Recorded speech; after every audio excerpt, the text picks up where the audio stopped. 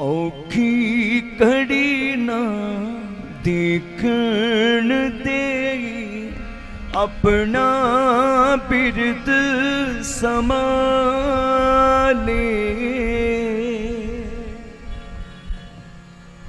ਗੁਰੂ ਸਤਸੰਗ ਦੁਖ ਭੰਜਨ, ਤੇਰਾ ਨਾਮ ਜੀ ਦੁਖ ਭੰਜਨ, ਤੇਰਾ ਨਾਮ। ਇਹ ਸਤਿਗੁਰ ਦੀ ਵਡਿਆਈ ਉਹਦੇ ਨਾਮ ਦੀ ਮਹਿਮਾ ਹੈ। ਦਾਸ ਹਮੇਸ਼ਾ ਕਹਿੰਦਾ ਹੈ ਕਿ ਦੁੱਖ ਕਿਹੜੇ ਘਰ 'ਚ ਨਹੀਂ ਹੈ। ਹਰ ਘਰ, ਹਰ ਸਰੀਰ ਦੇ ਵਿੱਚ ਦੁੱਖ ਹੈ, ਚਾਹੇ ਉਹ ਸਰੀਰਕ ਹੋਵੇ, ਚਾਹੇ ਉਹ ਮਾਨਸਿਕ ਹੋਵੇ। ਹਰ ਘਰ ਦੇ ਵਿੱਚ ਰੋਗ ਹੈ, ਹਰ ਸਰੀਰ ਦੇ ਵਿੱਚ ਰੋਗ ਹੈ।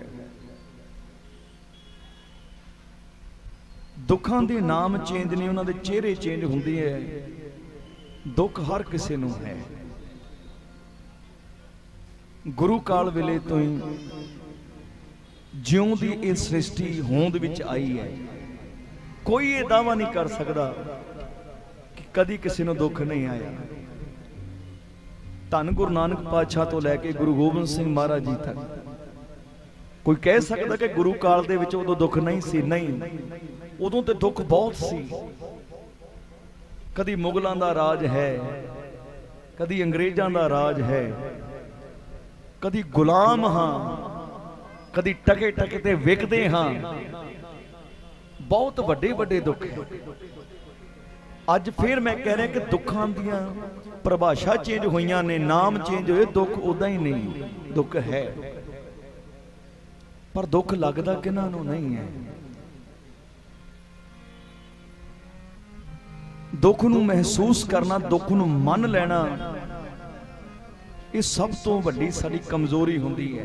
ਬਾਣੀ ਸਾਨੂੰ ਇਸ ਗੱਲ ਤੋਂ ਤਗੜਾ ਕਰਦੀ, ਭਲਿਆ, ਦੁੱਖ ਆਉਣੇ। ਇਹ ਕਦੀ ਨਹੀਂ ਹੋ ਸਕਦਾ ਕਿ ਦੁੱਖ ਨਾ ਆਉਣ।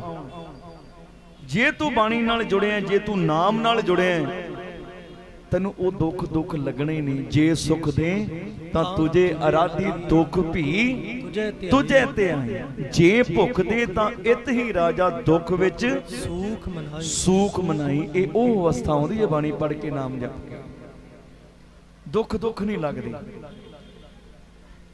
ਅੱਜ ਅਸੀਂ ਧਰਮਾਂ ਦੇ ਨਾਂ ਤੇ ਵੀ ਵੰਡੀਆਂ ਪਾ ਲੀਆਂ ਪਰ ਕਿਸੇ ਵੀ ਧਰਮ ਨੂੰ ਲੈ ਕੇ ਦੇਖੋ ਕਿ ਉਹਨਾਂ ਦੇ ਵੇਲੇ ਦੁੱਖ ਨਹੀਂ ਸੀ। ਸ੍ਰੀ ਕ੍ਰਿਸ਼ਨ ਨੂੰ ਦੁੱਖ ਨਹੀਂ ਆਏ।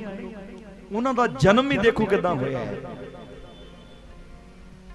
ਉਹਨਾਂ ਦੇ ਆਪਣੇ ਘਰ ਵਾਲੇ ਦੁਸ਼ਮਣ ਬਣ ਗਏ ਉਹਨਾਂ ਦਾ ਸਕਾ ਮਾਮਾ ਦੁਸ਼ਮਣ ਬਣਿਆ ਹੋਇਆ ਹੈ। ਕਿ ਸ਼੍ਰੀ ਰਾਮ ਦੇ ਦੁੱਖ, ਉਹਨਾਂ ਦੇ ਜੀਵਨ 'ਚ ਦੁੱਖ ਨਹੀਂ ਸੀ 12 ਸਾਲ ਬਨਵਾਸ ਕੱਟਿਆ ਹੈ ਜੰਗਲਾਂ 'ਚ।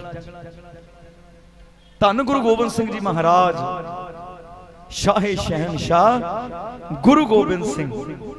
ਸਰਬੰਸਦਾਨੀ ਗੁਰੂ ਗੋਬਿੰਦ ਸਿੰਘ ਪਰ ਉਹ ਦੁੱਖ ਦੇ ਵਿੱਚ ਵੀ ਚੜ੍ਹਦੀ ਕਲਾ 'ਚ ਰਹੇ ਹੈ। ਸਾਨੂੰ ਦੱਸਿਆ ਉਹਨਾਂ ਕਿ ਦੁੱਖ 'ਚ ਚੜ੍ਹਦੀ ਕਲਾ 'ਚ ਕਿਵੇਂ ਰਹਿਣਾ ਹੈ। ਸੱਚ ਜਾਣਿਓ ਜਿਹਦੇ ਘਰ ਦੇ ਵਿੱਚ ਬਾਣੀ ਹੈ ਜਿਹਦੇ ਮੁਖ ਤੇ ਬਾਣੀ ਹੈ ਜਿਹਦੇ ਹਿਰਦੇ ਘਰ ਵਿੱਚ ਬਾਣੀ ਹੈ ਉਹਨੂੰ ਦੁੱਖ ਵਿਆਪਦਾ ਨਹੀਂ ਹੈ। ਉਹ ਤਤੀ ਤਵੀ ਤੇ ਵੀ ਬੈਠ ਕੇ ਕਹਿੰਦਾ ਤੇਰਾ ਕੀਆ ਮੀਠਾ ਲਾਗੇ ਹਰ ਨਾਮ ਪਦਾਰਥ ਨਾਨਕ ਮੰਗੇ। ਇਹ ਨਾਮ ਦੀ ਬਾਣੀ ਦੀ ਮਹਿਮਾ ਹੈ ਜਿਨ੍ਹਾਂ ਨੇ ਮਨ ਨੂੰ ਰੰਗਿਆ ਹੈ। ਆਓ, ਕਰੀਏ ਅਰਦਾਸ ਸਤਿਗੁਰੂ ਦੇ ਚਰਨਾਂ 'ਚ ਕਿ ਸਤਿਗੁਰੂ ਮਿਹਰ ਕਰੋ। ਜੇ ਸੁੱਖ ਤੁਹਾਡੀ ਦਾਤ ਨੇ ਤੇ ਦੁੱਖ ਵੀ ਤੁਹਾਡੀ ਦਾਤ ਹੈ। ਉਹਨੂੰ ਮੰਨਣ ਦਾ ਵੱਲ ਬਖਸ਼ੋ ਆਓ, ਇਹ ਪਾਵਨ ਸ਼ਬਦ ਔਖੀ ਘੜੀ ਨਾ ਦੇਖਣ ਦੇਈ ਆਪਣਾ ਬਿਰਦ ਕਰਿਓ